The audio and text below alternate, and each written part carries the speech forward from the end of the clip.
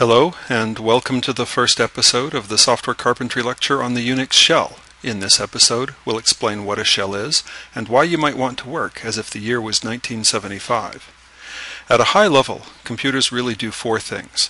They run programs, they store data, they communicate with each other, and they interact with us. They can do the last of these in many different ways. For example, they can use telepathy, i.e. direct brain-computer links. This technology is still in its infancy, but I for one look forward to being assimilated as it matures. Another way to interact with computers is to talk to them. No, talk to them, not dock the pen. Um, as you can tell, this technology is also still somewhat immature. What most of us use for interacting with computers is a WIMP interface, windows, icons, mice, and pointers. While these technologies didn't become widespread until the 1980s, the roots go back to Doug Engelbart's work in the 1960s, which you can see in what has been called the mother of all demos. Going back even further, the only way to interact with early computers was to rewire them. But in between, from the 1950s to the 1980s, and into the present day, people have used a technology that's based on the old-fashioned typewriter, and that technology is what we're going to explore in this lecture. Now when I say typewriter, what I actually mean is a line printer connected to a keyboard, like the DECwriter LA36 shown here.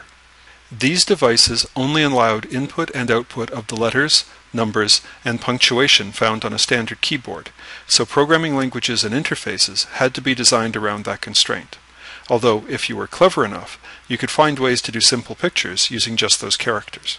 This kind of interface is called a CLUI, or Command Line User Interface, to distinguish it from the GUIs, or graphical user interfaces, that most of us are now used to.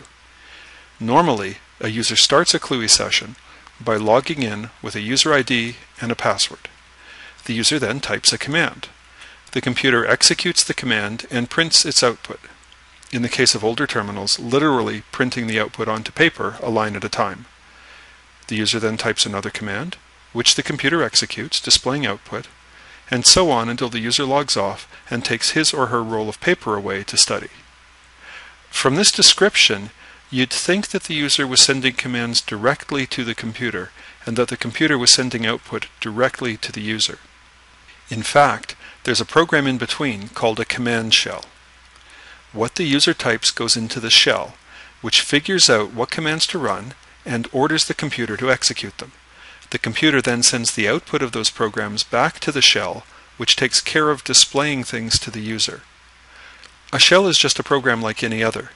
The only thing that's different about it is that its job is to run other programs rather than to do calculations itself.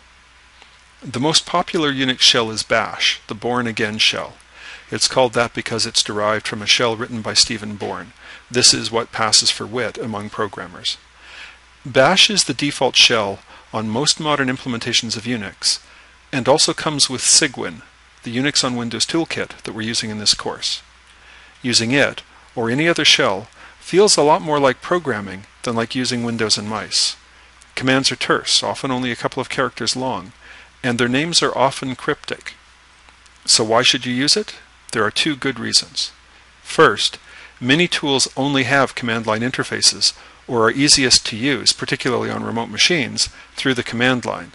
Second, the shell allows you to combine existing tools in powerful ways to create new tools of your own with little or no programming. As we'll see later in this lecture, this lets you do a lot of work with just a few keystrokes, once you have paid the upfront cost of learning how the shell works and what its basic commands are.